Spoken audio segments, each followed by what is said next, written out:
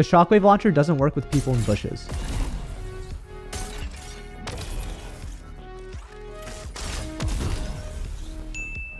You can have the ice effect as a shadow. Nope. What about a bush? Nope. What about the boogie bomb effect? Can you still do the infinite inventory glitch with C4s?